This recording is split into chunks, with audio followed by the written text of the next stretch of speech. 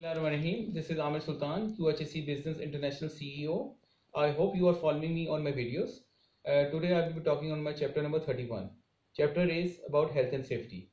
Health and safety is very important and it's need to be implemented in the organizations with its true implementation.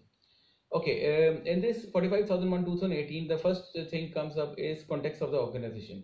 Context of the organization tells about the uh, issues related to health and safety which needs to be addressed and properly implemented in the organization. Then we move on to leadership and commitment. Leadership commitment tells about the leadership and commitment about the management, about the true implication of health and safety within the organization, which is true effects, and they have to take uh, leadership and uh, um, uh, lead role in that. Then we move on to um, uh, uh, OHS policy, occupational health and safety policy. OHS policy need to be made in which the main parts of health and safety need to be addressed. That they should not be missed in that. For example, proper taking care of the uh, people in terms of giving uh, uh PPs, in terms of taking care of the safety measures. All the things need to be addressed in the OHS policy. Then we move to OHS objectives. Occupational health and safety objectives need to be made for one fiscal year in which all the issues related to health and safety need to be made. For example, the placement of fire extinguishers, checking of the fire extinguishers on a regular basis, uh, trainings of the fire extinguishers, then we, we can make the objectives of the first aid boxes, first aid mayas, first aid things, we make we can make the objectives of health and health uh, issues health uh, improvement in the health sector. We can make the issues of the drinking water uh, application we can make objectives relating to any um, controls of the incident accident.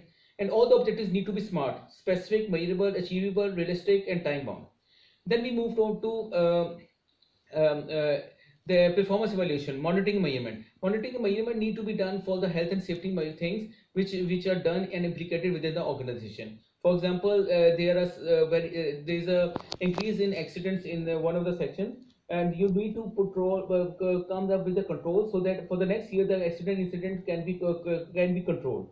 And then we move on to um, uh, communication. Communication uh, internal and external communication. Internal communication all the uh, internal communication which is done with respect to health and safety within the organization and uh, external communication is all the communication which is done with the outside uh, uh, third party regarding the health and safety. Okay? These are this is about the this communication. Then we move on to operations. Operations the operations we talk about the how the operation of the company moves on and what the health and safety implications related to uh, to that are uh, implicated and implemented um, accordingly.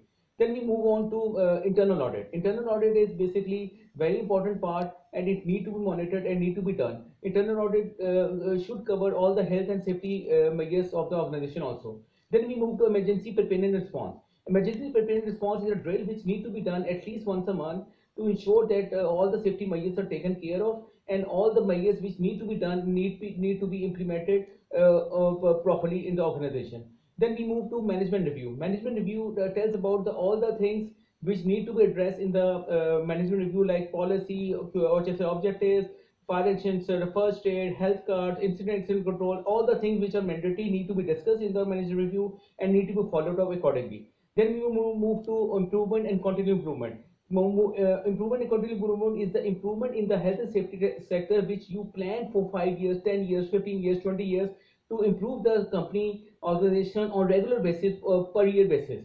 And you can make a long term plan and you gradually achieve that with with the time. This is the end of brief description of about ISO 45001 2018 for more details for any consultancy for any any turnkey solution, you can contact me anywhere in the world at plus nine two double three five seven three four seven four double zero, and you can reach me on my email at amirsultanrana at yahoo.com.